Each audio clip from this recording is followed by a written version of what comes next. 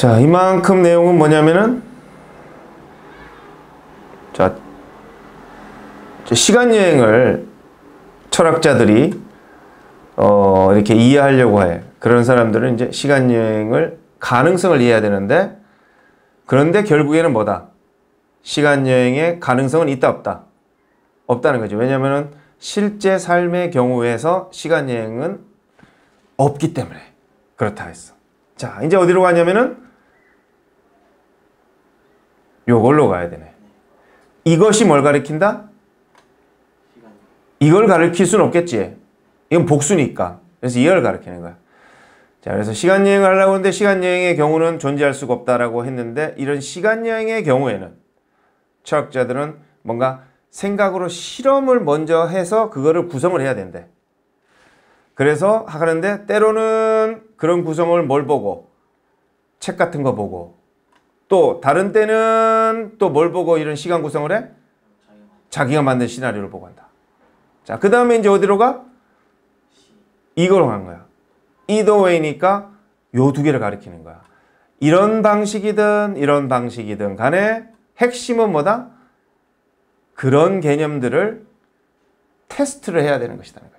그런 시간 여행의 가능성에 대해서 시나리오를 이 그런 개념이 시나리오 정도 되겠네. 시나리오를 테스트를 해서 진짜 가능성이 있을까 없을까 보는 거다 하는 거지.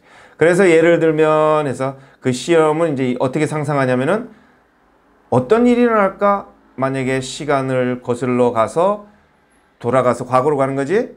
자신이 이런 위치에 있는 거를 안다면 인터피어는 방해하는 거지. 이런 방식으로 방해를 하는 거야. 네가 절대 태어나지 않았던 방식으로. 그러니까 태어나지도 않았던 그 시대로 네가 돌아가지고 뭔가 시간에서 방해를 한다면 도대체 어떤 일이 일어날까? 이렇게 얘기했지. 그럼 이거에 대한 이제 답이나 설명이 와야 되겠는데 여기 보니까 이게 이렇게 하는 것은 이랬지. 그러니까 태어나지도 않은 과거로 돌아가서 뭔가 방해를 하는 거야. 그래서 뭔가가 일어나야 된다는 것처럼 보인다는 거지. 네가 이런 걸 하는 걸 막아야 된다는 거지. 이게 시간 거슬러 올라가서 돌아가서 태어나지도 않은 거를 이제 막 이런 방해를 하는 거를 막아야 된다는 거지. 왜냐면은 네가 만약에 성공한다면 시간 여행을 했어. 그러면 너는 결국은 뭐야? 아까 시, 태어나지도 않은 과거로 돌아갔잖아. 그러니까 네가 만약에 성공했다면은 너, 성공한다면 결국은 너는 존재하지도 않을 거고 너는 그래서 너는 다시 도, 존재하지도 않으니까 결국은 다시 돌아올 수도 없다. 자, 그래서 결국은 무슨 내용이야?